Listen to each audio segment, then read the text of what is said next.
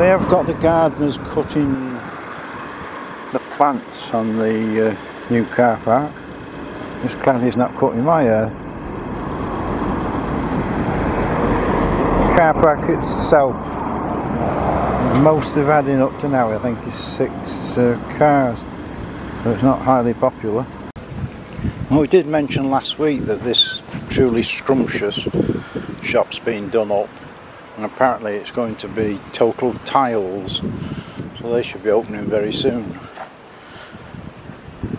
And the old Argos store and the British Heart Foundation have now got the signage up so that's looking good to be opening in the very near future.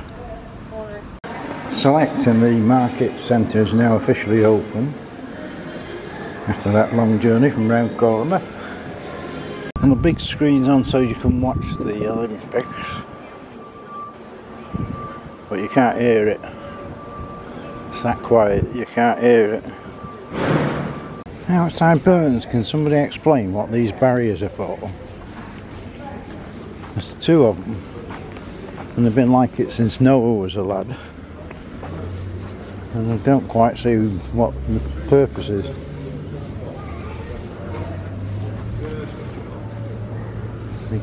keep falling over and causing chaos. There doesn't seem any particular reason. And then he tried to say, oh.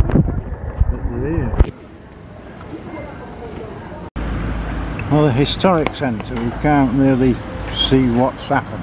Well, see what's happened. There's lots of bloody big holes.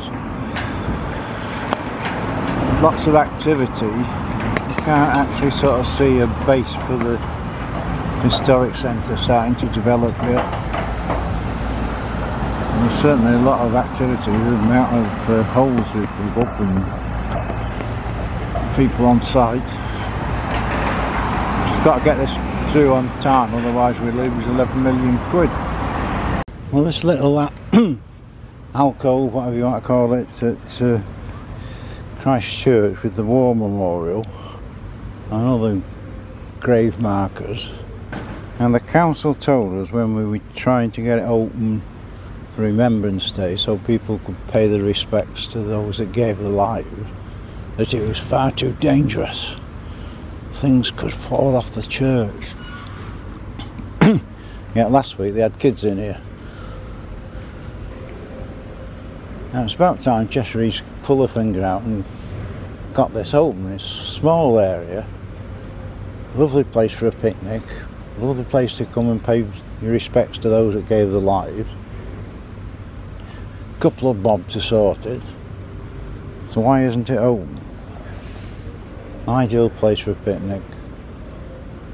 Get all the flowers there, it's not much money for a load of flowers, is it? Nice little place. Cheshire East, pull your finger out. At the end of the library there's this Chantry court. Probably a lot of people won't see this. There's a office supplies. There's an educational resource. There's Matt White Financial Service. Lewis Rogers Solicitors.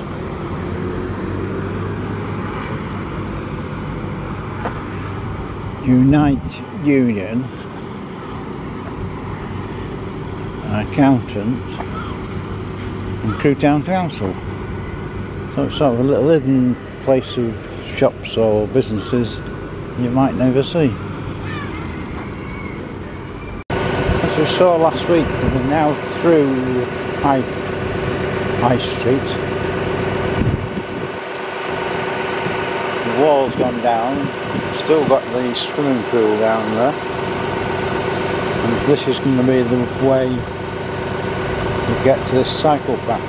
It's a bloody deep drop here. Not quite how we're going to do that. Still the road by Tesco is closed in another couple of weeks.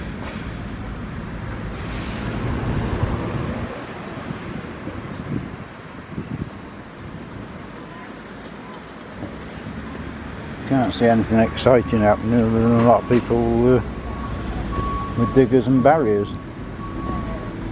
Well, the old tree, I think they just give up on this because it's starting to sprout. It'll be 10 foot tall by the time they've worked out what to do with it.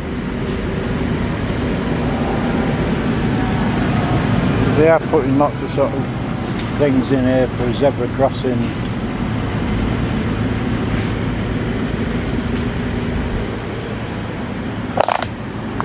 Actual Oak Street again nothing's bloody happened. So why close it for weeks and weeks. Instead of just getting on with the blasted job. I see we have now got a bit of a better view. You can see that pit there the massive swimming pool. And we're straight through to the library now couple of pipes sticking up lots of hardcore about. And not much other signs of uh, progress. Presumably they've got to make a driveway or ramp or something to get to the actual library. I don't know if we can read this on the video but this is the uh, the plan opens in 2025 and it's going to cost 14 million what have we got of 14 million? Not a lot. And they say they got no bloody money. Well, the new car park's not been a huge success. At the moment, there's been an average of about six cars per day in. And that's a lot. And some of them might be actually working here. so, uh, not the uh, stampede we all expected. Well, the new car park, I did have fun at weekend because it's supposed to be open from 7 till midnight every day, including Saturday, and closed Sunday. But people came on Saturday and it wasn't open because somebody, not mentioning any names, forgot to open it. oh dear. That's 50p the council have lost. There's lots of drilling going on, so I don't know what they're up to now. Yeah, the knocking, knocking, drilling, sanding.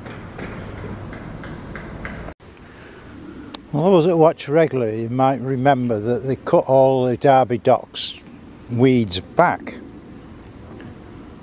And the plan was, they said, was to keep it as it was, flat. But it's all grown back again and it's just turning into see the kids or whatever sort of created these little places off it where they're hiding and being naughty little boys and girls.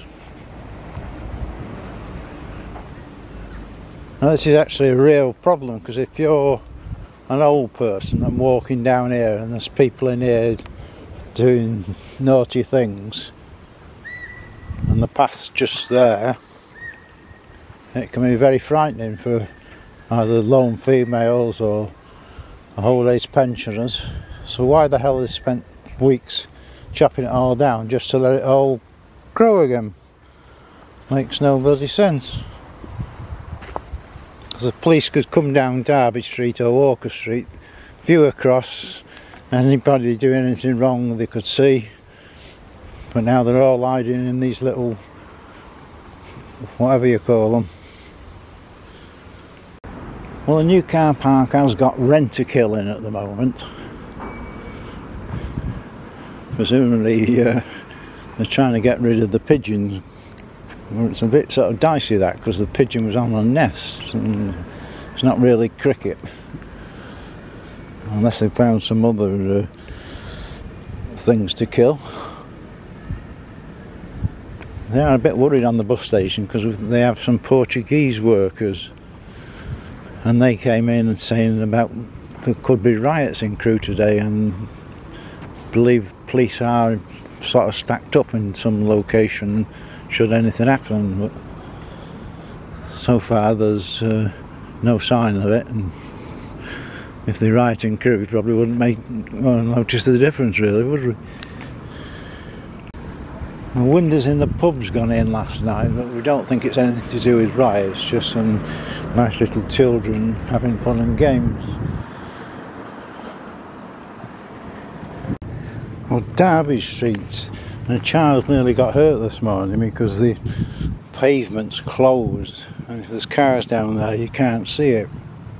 And then you have to step out into the road, and all this pavement's closed. And there's no reason for this last bit to be closed anyway. But by law, you have to display your permit. And no display of permit. The main reason being they ain't bloody got one. So you can't just close pavements willy nilly because you think, hmm, alright, you have to have a permit. And these obviously haven't got one because confirmed by the council.